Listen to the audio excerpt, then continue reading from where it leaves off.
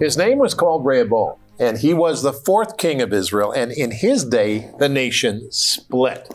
Good morning, good afternoon, good evening. My name is Rod Hembree. And I'm Janice. And this is Bible Discovery TV, going through the Bible in one year. We're doing it this year from Genesis 1 to Revelation 22. Today we're going to read Second Chronicles chapter 11 all about Rehoboam. It's going to be very interesting, so get ready for that. Corie and Ryan are here. Corie? I'm looking forward to the reign of King Asa in Second Chronicles chapter 14. Ryan? Well, today we're reading about the transition of leadership from King Saul to King David. And what's really fascinating is that many people from Saul's own tribe of Benjamin joined David. And today I'm going to be looking into the history of this amazing tribe of Israel. Very good. Excellent, Janice. Today, listening and learning. All right, very good. Open up your Bible, get your Bible guide. If you don't have one, we'll tell you how to get one. Let's look at what God tells us.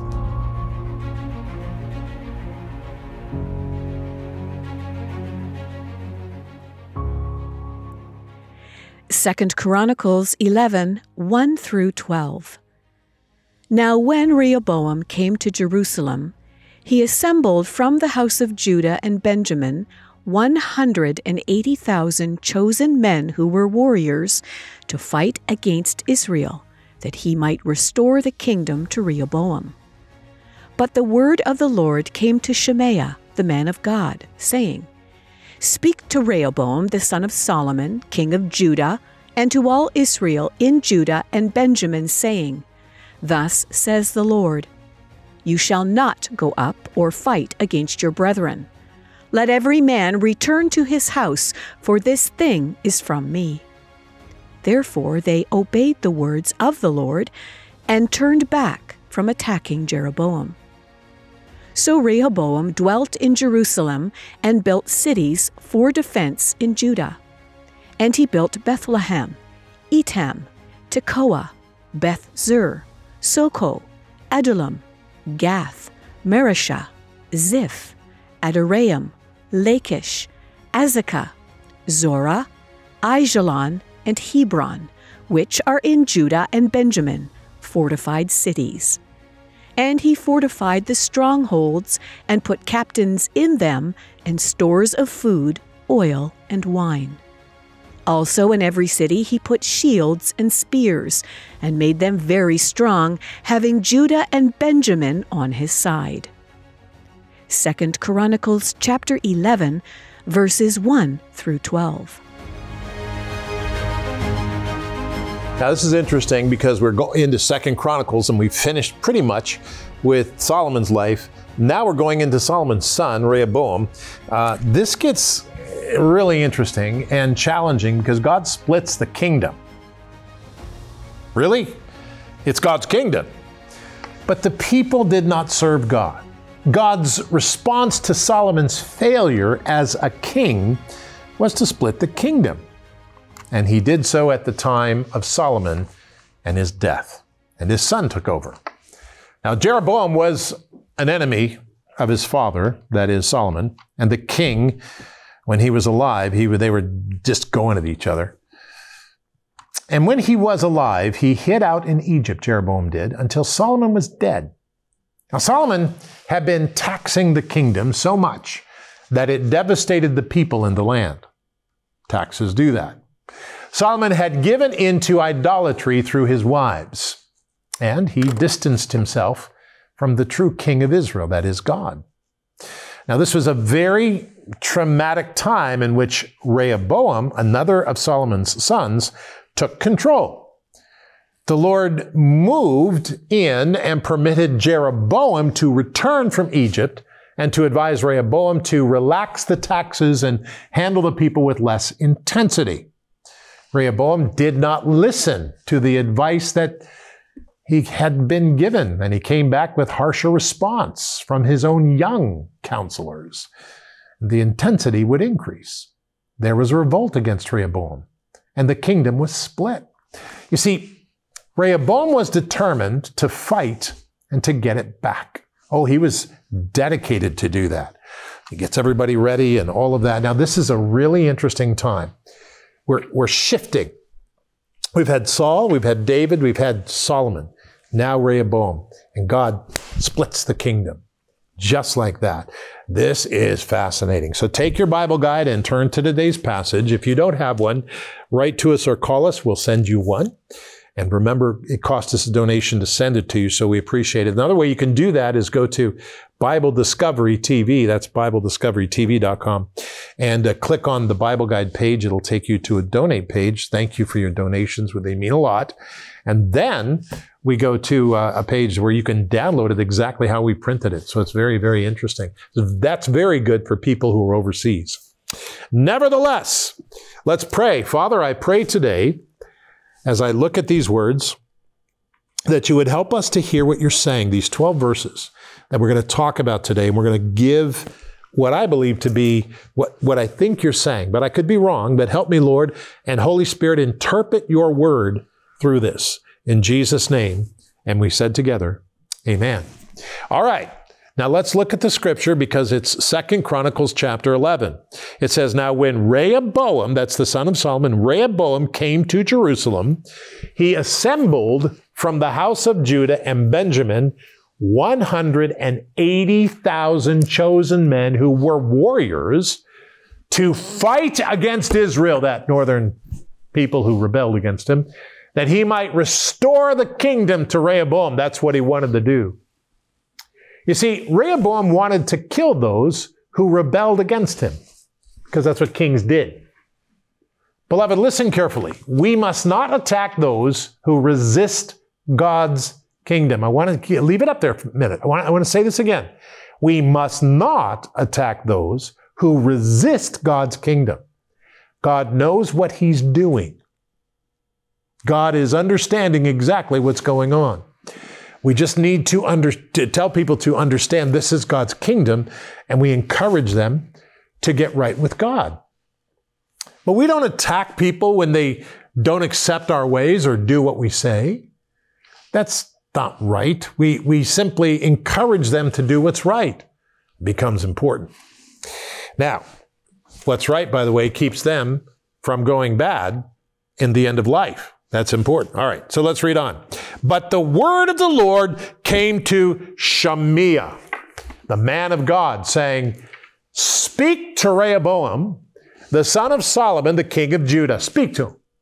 And to all of Israel in Judah and Benjamin, saying, Thus says the Lord, You shall not go up or fight against your brethren. Let every man return to his house, or this thing is from me. Therefore, they obeyed the words of the Lord and they turned back from attacking Jeroboam. This is stunning. Rehoboam was challenged to stop the civil war by a prophet sent by God. And there are times when fighting may feel right, but it's not. Fighting may feel right, Oh, that's the right thing to do. They need to get right with God. Let's just go in there and take it over. Hold on a minute. People are going to make their choices. God knows that. God said that He's empowered everyone with a choice. They will make their choices about who they believe. I'm not talking about freedom of speech or any of that. I'm talking about who they believe is God. Who do you believe God is? Interesting, isn't it? Who do I believe God is? I believe God is the Lord. He's the one in heaven who dictates everything. And so I have to check with Him on everything. And when I pray, that's what I do in the morning. That's very important. Let's read the last couple of verses here as we focus on this. So Rehoboam dwelt in Jerusalem and built cities for defense in Judah. And he built Bethlehem, Etam, Tekoa, Beth Zur, Socoh, Adullam, Gath, Mareshah, Ziph, Adoraim, Lachish, Azekah, Zorah, Aijalon, and Hebron, which are in Judah and Benjamin, fortified cities. And he fortified the strongholds, and he put captains in them and stores of food, oil, and wine. Also, in every city, he put shields and spears and made them very strong, having Judah and Benjamin on his side. Now, this is important. I, I, I need to say this. Rehoboam wisely chooses to follow the words of the Lord spoken by the prophet. The words of the Lord spoken by the prophet. Beloved, we should follow the word of God, not what seems right to us. There's a lot of people today. And they're saying, well, the word of the Lord is this. The word of the Lord is that. And the word, I believe it's this. I believe. Forget it. Here's the word of the Lord. It's called the Holy Bible. There it is. That's what you read. Everybody's got their latest version of what's going on. Then there's the real reason and the real purpose of what's going on in the Word of God. Beloved, that's what we need to do. Strive and pray to the Holy Spirit to help us to understand His Word. And then that's what we need to do. We need to do what His Word says and understand what God is doing so that we can be followers of Jesus Christ. Very important. Father, I pray today that you would speak to our hearts, that we would know you, and that we would understand what you're doing. Lord, there's so many things we can do, but help us to every day take time to read your word and listen to what you tell us because things are going down and we need to hear what you're doing so we can follow you. In the name of Jesus Christ. And we all, everyone, everyone who believes this said together, Amen. Make it so. Father, I pray in the name of Jesus Christ today that we would not be sidetracked by our own ideas, but we would be directed by your Holy Spirit. Holy Spirit, come into our hearts, come into our life today, and teach us your way and show us your path as we look at Zechariah and learn about the future. Help us to hear what you're saying in the name of Jesus Christ. And we said together, Amen and Amen.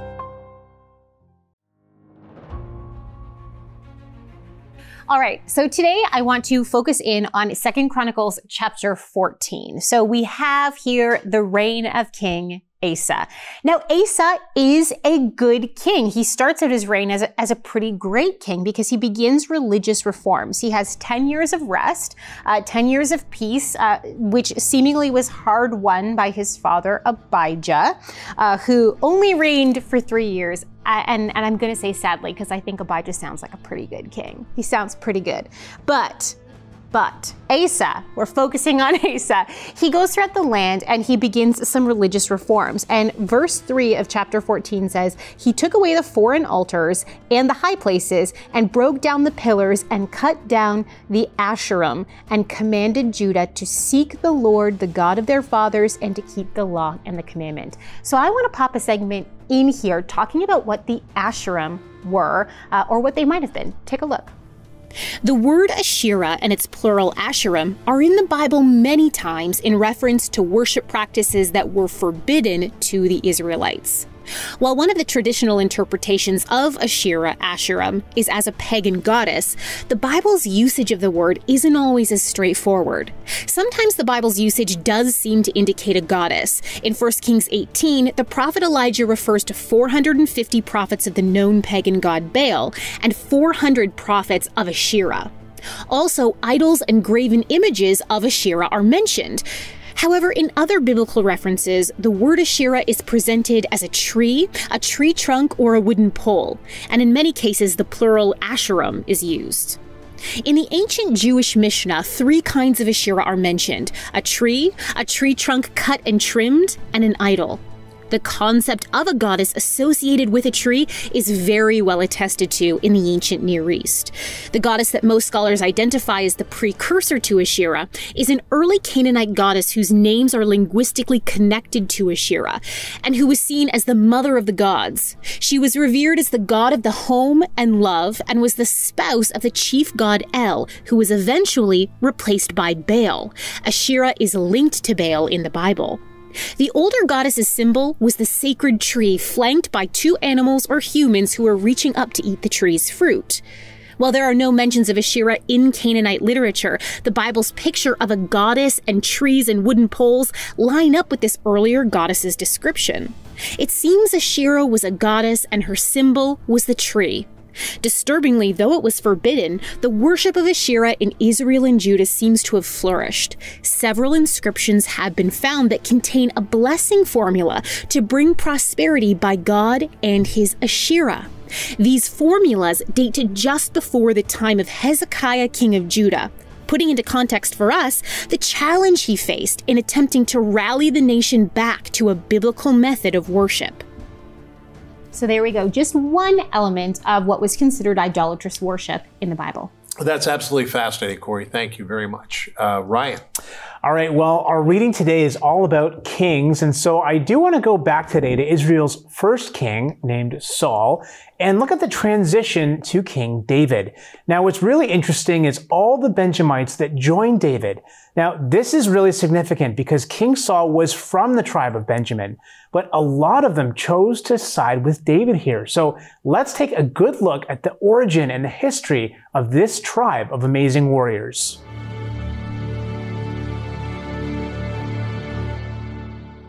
Though the birthing Rachel in her dying breath named her newborn son Benoni, meaning son of my sorrow, his father Jacob renamed him Benjamin, meaning son of my right hand. He was the youngest of Jacob's twelve sons, and like his brothers, became the father of the Israelite tribe bearing his name. In fact, it would be several years later when his father Jacob, now on his deathbed, proclaimed upon his sons the customary blessing. Though this was much more than the typical patriarchal blessing. It was a prophecy that would develop over the course of the history of the 12 tribes. Benjamin is no exception. In Genesis chapter 49, verse 27, Jacob declares, Benjamin is a ravenous wolf. In the morning he shall devour the prey, and at night he shall divide the spoil. The emphasis on Benjamin is his warlike character, and the tribe of Benjamin fulfilled Jacob's prophecy by becoming extremely skilled warriors. In fact, says one historian, they were skilled archers and slingers, said to be able to shoot at a hair and never miss. They also trained their warriors to be ambidextrous in combat, and in fact, biblical accounts have a few stories of Benjamite warriors catching an opponent off guard by fighting with their left hands. The Benjamite warriors were indeed as fierce as ravenous wolves, and adopted that animal as the symbol of their tribe. The tribe of Benjamin did in fact produce some rather famous warriors, such as the judge Ehud, a left handed man, as well as the very first king of the Jews, Saul, and his son Jonathan, who was a courageous military commander.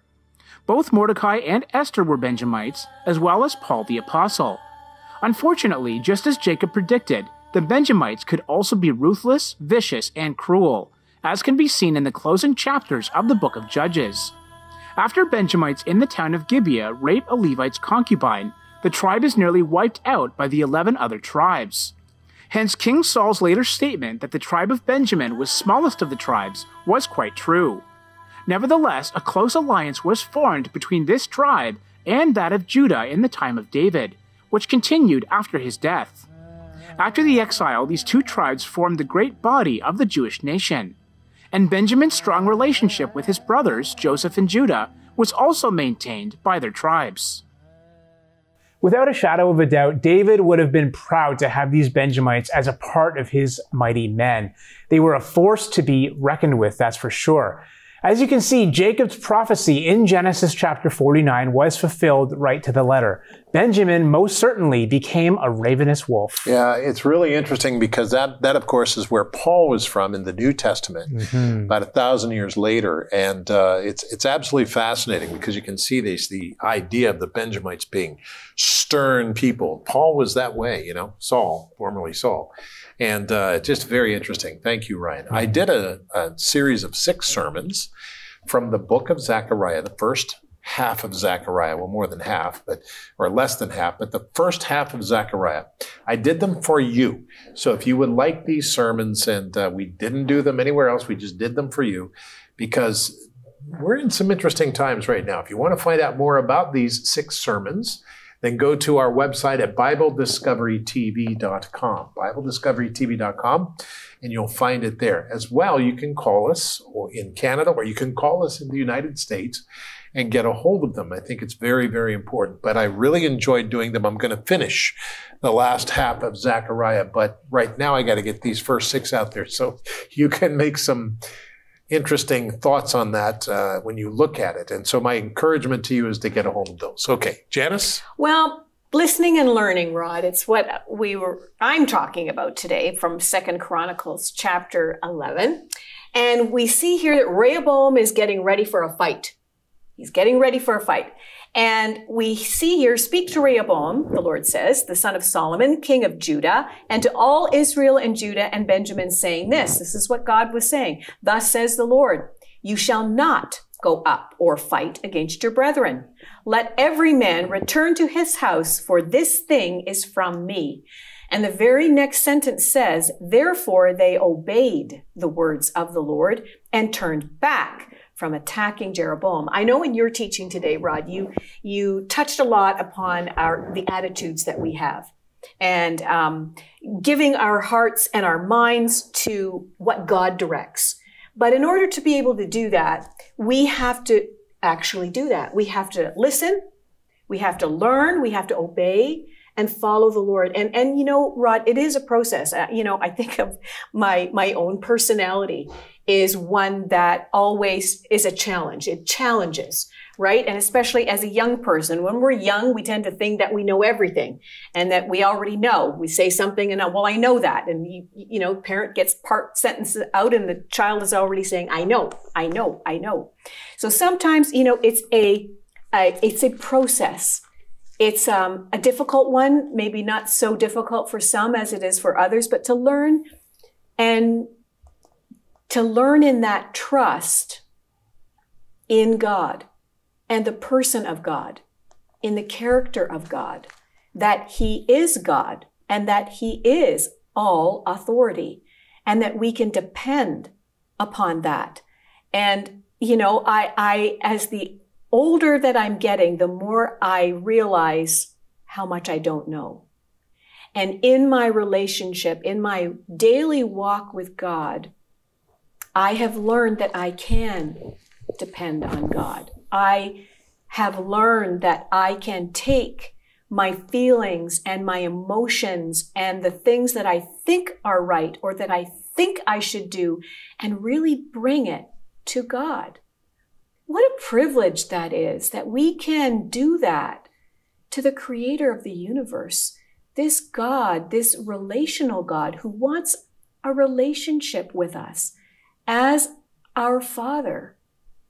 And he will give us direction. You know, it's, it's interesting too, how gracious Rod and how patient he is with us as his children when he allows us to make the wrong choice.